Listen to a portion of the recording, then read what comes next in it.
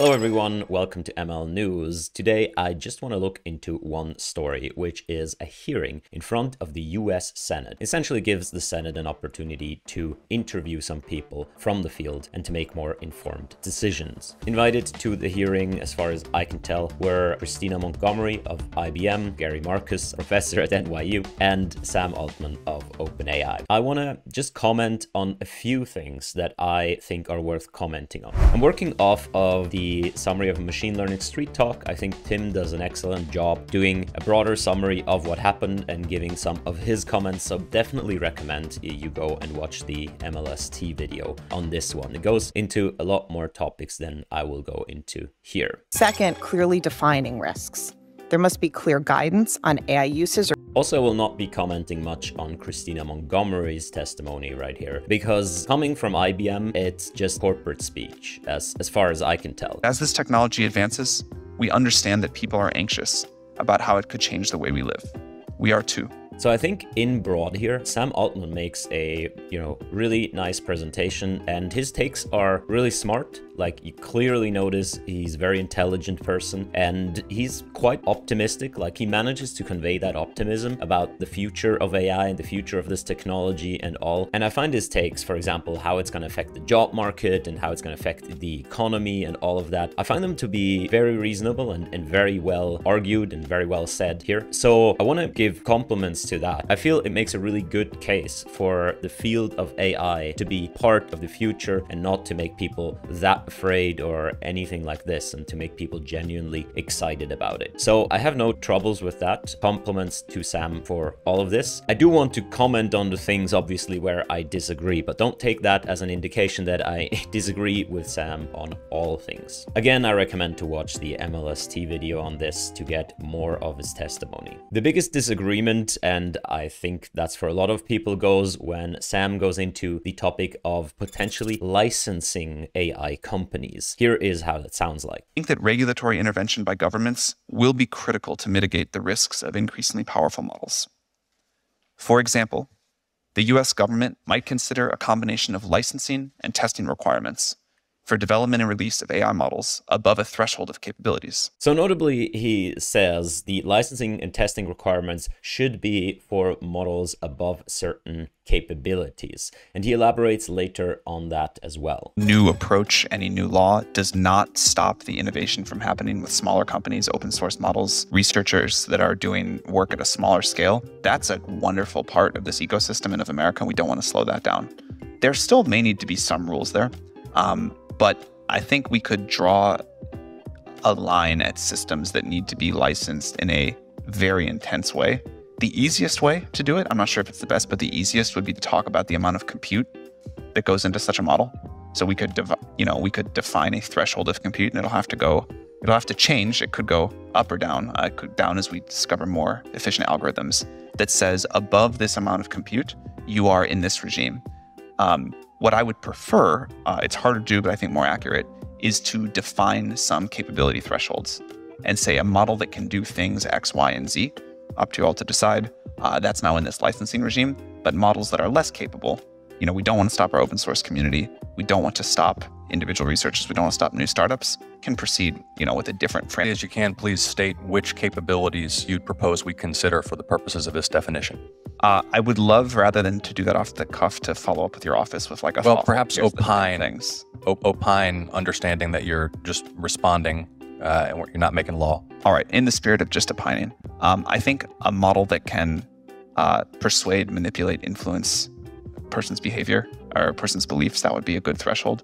Um, I think a model that could help create novel biological agents would be a great threshold things like that. So I think one thing is clear from this clip. This person knows what he's talking about, which is not the case with all of the witnesses here in front of the Senate. This clearly comes from experience and from a technical expertise in the matter. Even though Sam Altman might not be on the forefront of actually training these things, there is a clear handle on what actually makes the capabilities and so on. I find the reasoning of this, I find to be sound. I don't think the, I, I disagree, but I find find the reasoning of it to be sound in terms of okay, if we regulate something, probably compute is sort of the best proxy for sort of capabilities, and it would be better to measure capabilities, but we can't yet. I mean, that all is reasonable. What I have trouble with is in the first place suggesting this regulation, because essentially saying, you know, there should be a line where you need to be licensed, and anything below is fine because we don't want to crush the open source ecosystem and so on, you know, but then there is a line essentially that says, you know, if you just do your itty bitty thing in your garden, right, and it's small and it's cute, right, you know, no problem for us. But it's a long standing element in the playbook of big corporations to ask and to welcome regulatory actions because imposing regulations, imposing licenses automatically means it makes it much harder for anyone else to enter that market. So the position is as long as you're doing your things down here, that's fine. But if you really, if you want to come up to our level, like if the open source community for some reason actually gets a handle on these things and threatens OpenAI's virtual monopoly now or, or duopoly now with Google entering the market, then we should, you know, clamp down regulatorily. And conforming with regulations is easy if Microsoft chips billions and billions of dollars into you. Like you can handle it, but you very much know that the open source community, for example, cannot handle it. They cannot handle a lawsuit. They cannot handle or easily handle regulatory compliance. We've seen time and time again that the open source community actually manages to reach and surpass the level of commercial offerings. Think of the Linux operating system, which is now powering almost the entire internet, as does the Apache web server and things like this. Open source technology will catch up, and that is exactly the effect that licensing and testing requirements and all of this have is to squash that competition and to make it much, much harder for small businesses and for startups to reach OpenAI's level and threaten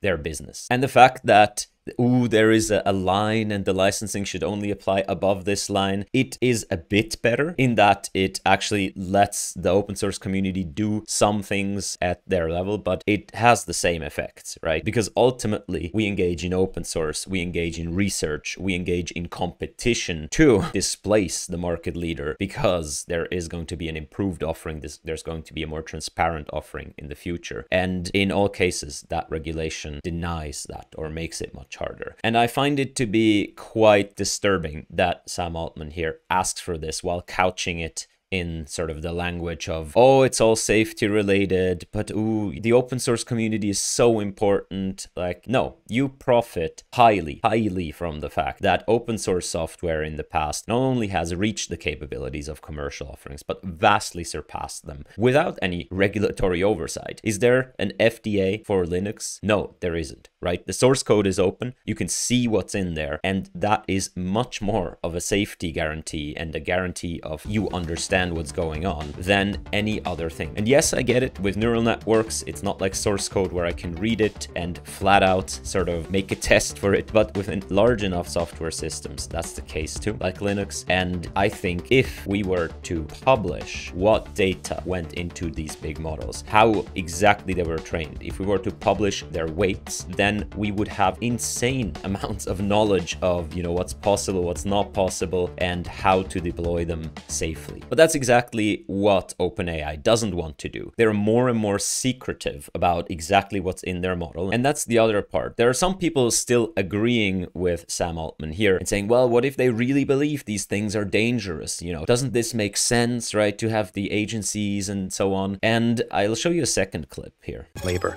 Should we consider independent testing labs to provide scorecards and nutrition labels or the equivalent of nutrition labels packaging that indicates to people whether or not the content can be trusted, what the ingredients are. So the question is should there be nutrition labels that tell people what's in these models? Listen to Sam's answer right here. That people, users, are, are pretty sophisticated and understand where the mistakes are that they need or likely to be, that they need to be responsible um, for verifying what the models say, that they go off and check it, um, I I worry that as the models get better and better, uh, the users can have sort of less and less of their own discriminating thought process around it. But but I think users are more capable than we give often give them credit for in in conversations like this. I think a lot of disclosures, which if you've used ChatGPT, you'll see about the inaccuracies of the model, um, are also important. And I'm I'm excited for a world where companies publish with the models information about how they behave, where the inaccuracies are, and independent agencies or companies provide that as well. I think it's a great idea. Sam directs the conversation into, again, the realm of capabilities and where the inaccuracies are and what the models are capable of. But a really easy thing to say, which Gary Marcus repeats sometimes in this hearing, is how about you just publish the data that went into it? How about you just publish how you trained it, how long it was trained, and so on? OpenAI notoriously, notoriously, and with glee, as far as I can tell, denied to give the research community any of that data in their latest technical report, purposefully hiding it. Like it was very common until that point to say, here's our model, this is the size, here is what it was trained on, here is how it was trained, here is the loss, here is how it behaves, and so on, on different things. And OpenAI has anything but that last category where they demonstrated it can take a bar test and pass it. Anything other than that, they have deliberately obscured. So uh, they have deliberately went completely against that idea of a nutrition label. Hey, let's tell people what's inside so they can make an informed decision and so that they can deploy these things safely. So if Sam Altman was really, first of all, as he says, you know, give the users more credit because they should be able to make their own decisions using this technology. And if he actually thought it was a good idea to do these nutrition labels, he'd be very much for, you know, publishing all of the ingredients right here. And an effective regulation could be that once you deploy, I don't know, a model, you have to disclose in some way what's inside. I'm not per se for that, but rather than whatever is proposed right here, just saying you have to disclose the data or you have to publish the weights. I don't know. We have to make it economically viable. But Sam clearly directs the conversation away from that and back into the regime of ooh, capabilities and yeah. So combined with the sayings before, we need some kind of licensing and testing above a certain threshold and we will deliberately not tell you what's inside there is I don't think that combo makes a lot of sense. I don't think that's a coherent line except under the aspect of, hey, let's make sure we have some business tomorrow and let's make sure we make it as hard as possible for others to uh, threaten that business. Lastly, I want to make a comment on the statements made by Gary Marcus here. I legitimately don't know why Gary Marcus is in this hearing, but he is. So good for him, I guess. Um, but here is how that goes. From the inherent unreliability of current systems. A law professor, for example, was accused by a chatbot of uh, sexual harassment untrue. And it pointed to a Washington Post article that didn't even exist. The more that that happens, the more that anybody can deny anything. As one prominent lawyer told me on Friday, defendants are starting to claim that plaintiffs are making up legitimate evidence. These sorts of allegations undermine the abilities of juries to decide what or who to believe and contribute to the undermining of democracy. No way. Are you saying stuff that's written isn't always true? That is, I, I, I'm con- okay. Forget everything I said. Like that convinces me because I mean, so far, before we had GPT-4 and, and all of these things, everything that was written was true. Like any allegation, you know, any person claiming that something was in a news article or there was some study proving something was certainly correct in doing so. Every allegation made by defendants about evidence, like no one has ever lied in a court or made up stuff or made up evidence. This is, it's a new world, man. And we, I, I'm convinced. Like, you know, these things can make false statements that just wasn't possible before. I, I tried using this technology called email once. I wanted to, to scam someone. I wanted to persuade someone of something, but it just wouldn't let me. But th- this is the statement. It can make up stuff. Like, what, what kind of a bar is this for no other technology in the world has been held to these standards of it can make up stuff, therefore it's it's bad, or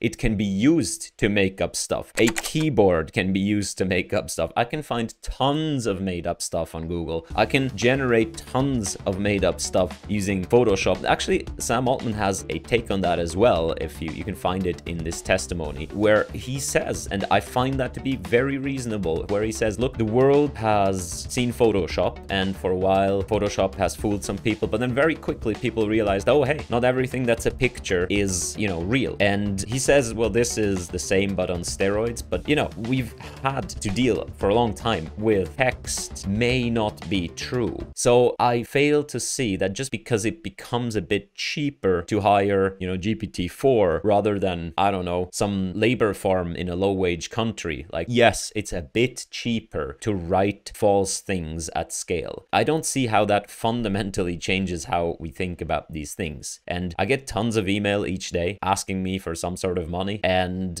I'm perfectly fine, perfectly fine. Even though, you know, according to Gary Marcus also, these systems, they are, you know, have lacked so far. They're not as good as humans yet. So the humans trying to convince me that send me these emails, they should be smarter than that, right? And so far, they haven't managed yet. Like I only ever sent money to legitimate uncles who died and I had to pay the lawyer's fees. Then there was a problem and I never got them, but it was totally fine. So that was my take on these things. Again, watch Tim's video. It's really cool. It's about 50 minutes long and you'll get the most important parts of that hearing.